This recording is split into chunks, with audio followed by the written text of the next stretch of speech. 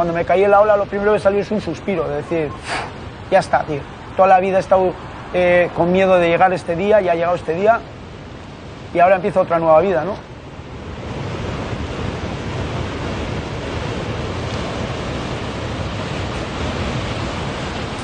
Eh, Yo me acuerdo que estaba con Aris cuando nos enteramos que, que Gaia había tenido el accidente y se había quedado ciego. O sea, yo las veces que, he hablado con él después de, toda la operación y toda la movida, el tío me ha transmitido como, joder, tío, estoy de la hostia. Y que es muy heavy, ¿no? Que una persona que se ha quedado ciega te diga que está bien, que está contento, que está lleno de energía, con ganas de comerse el mundo, es como, no sé, motivador, ¿no? Yo nací con glaucoma congénito. Es una enfermedad que a la larga te quedas ciego, ¿no? Entonces, yo toda la vida he estado escapando de quedarme ciego. Sabía que algún día me, me iba a pasar esto, entonces he corrido muchísimo en mi vida, viajando muchísimo, viendo todo. Y yo cada puesta de sol la miraba 10, 15, 20, 25 minutos porque pensaba que igual algún día no la volvería a ver, ¿no? Cualquier persona eh, hubiese empezado a andar con el bastón, hubiese, hubiese empezado a hacer una vida de ciego. Pero Gallo siempre ha sido como súper... Bueno, hasta que me quede ciego voy a hacer todo lo que hace una persona normal.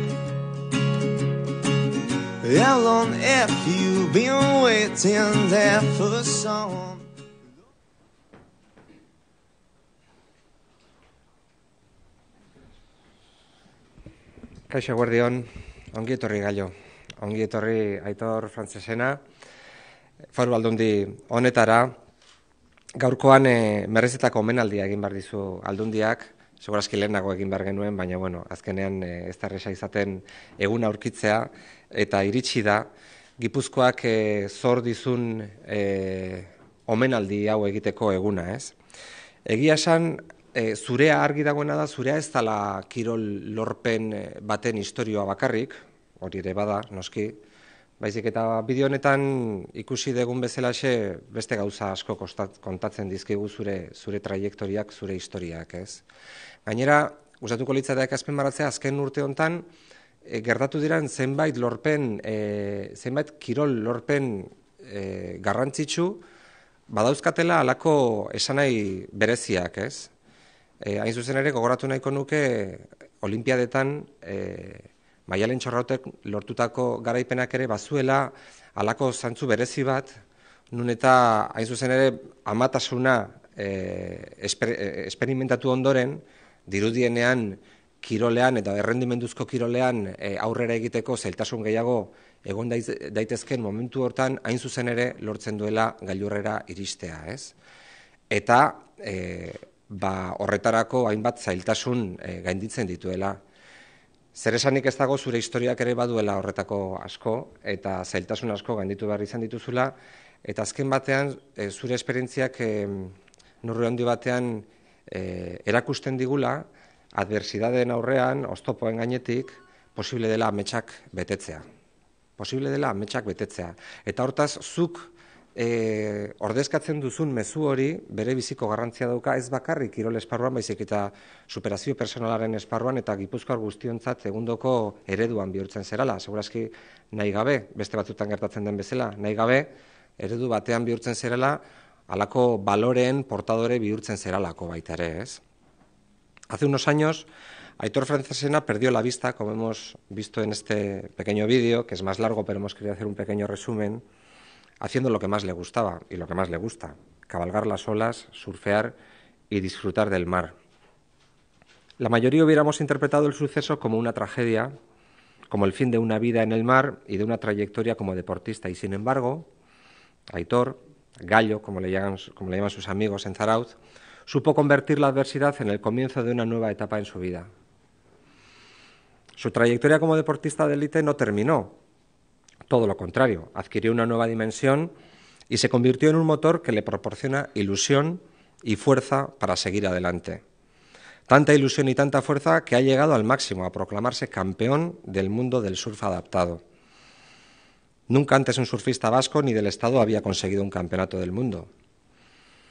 Aitor, que ha iniciado y entrenado a grandes surfistas, por eso tiene también grandes amigos, ha conseguido el Gran Premio, el Campeonato del Mundo, demostrándonos a todos que si hay pasión y ganas, con valores, no existen barreras ni dificultades que no se puedan superar. Que como él mismo dice y ha plasmado en su libro Querer es Poder, que lo tengo aquí, y estuve ayer ojeando a la noche porque realmente es un aprendizaje y una lección magistral, eh, como dice eh, perdón, sí, como dice en su libro, querer es poder, ¿no? Tanto quiere y tantas ganas le pone que, como dicen sus amigos, viéndole surfear es difícil creer que no pueda ver. No puede ver, pero está claro que puede todo lo demás. Surfea, sueña, disfruta y vive intensamente. El campeonato conseguido es importante, por supuesto que es importante. Seguramente el campeonato es lo que te ha puesto los focos y lo que nos ha hecho ver esa hermosísima historia que tienes detrás de ti. Pero al final yo creo que eh, el mensaje de ilusión, de fuerza y de superación, los valores que encierra y nos transmite, es mucho más importante todavía. Mila esker, Gallo, porque nos has demostrado que los sueños se pueden conseguir, eta segi horrela. Nik uste dute eh, asko daukagula zutaz eh, ikasteko, eta, eta eredu horretan bihurtu, bihurtu ziren zure mezua ba, ozenki, azpimarratu eta edatu egin beharko dugula eta hori baita ere izango da gure gure ardura aldunditik. Mila esker.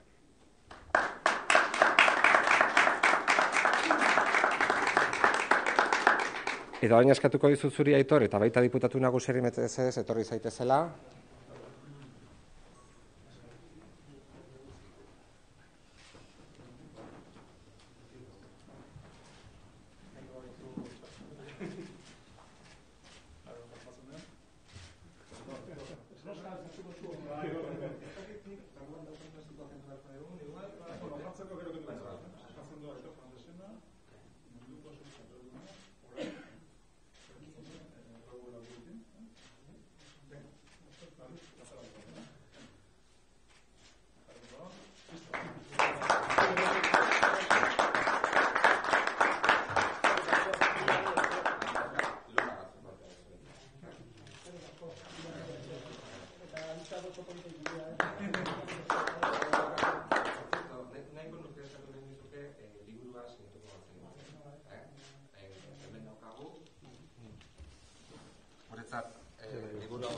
Hau edukitzea zure sinadurarekin. Aquí. Voy a firmado 20.000 ya. Este es un callo ya. Aquí, aquí.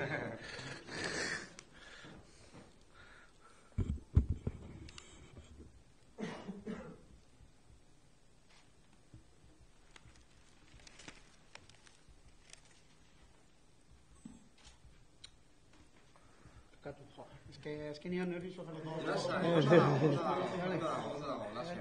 Mila esker. Mila esker zuei. Hitzak, zontzat nahi baldin Bai. baituzu, Aquí, aquí, aquí. Vale, parla.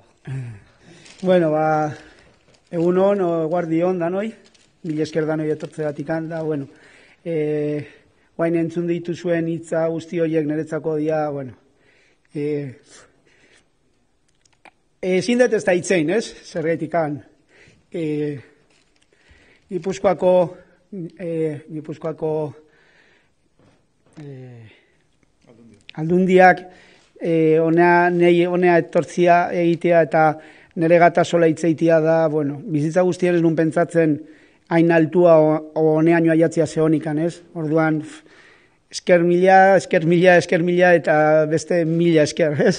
E, pues eso, que voy a decirlo en castellano, que es como normalmente hablo, y nada, que todas las palabras que se han dicho en este, este momento para mí son algo que, cada día que me levanto desde por la mañana y voy haciendo las cosas que voy haciendo, lo que tocan cada día para, para ser feliz, intentar disfrutar y llegar a lo más de mi vida, eh, tú lo vas haciendo sin esperar nada a cambio, más que llenar tu gozo, tu vida e intentar aportar y enseñar a todo el mundo que se puede hacer de todo en esta vida, como bien han dicho. Y de repente cuando salen bien las cosas, porque siempre intento de una bolita pequeña que se vaya haciendo una bola grande, porque esto es así la vida, ¿no? Tú vas haciendo cositas y esas cositas pequeñas se hacen más grandes, hasta más grandes, hasta más grandes, pero nunca te esperas hasta dónde o no sabes hasta dónde pueden ser de grandes.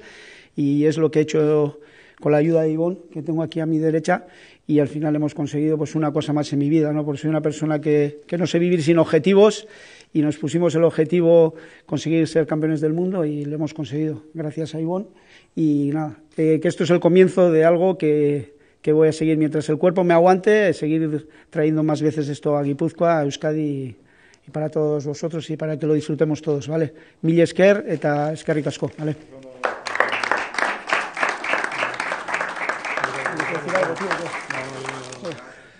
Autopista. Ba, nik azkeneko hitz batzuk eta negozio eseri, ez? Negozio eseri.